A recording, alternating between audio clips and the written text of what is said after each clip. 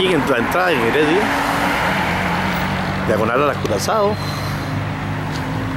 para que se ubiquen todavía mejor. ¿verdad? La pura entrada de Heredia. Ustedes encuentran estas bellezas de muebles en la pura entradita de Heredia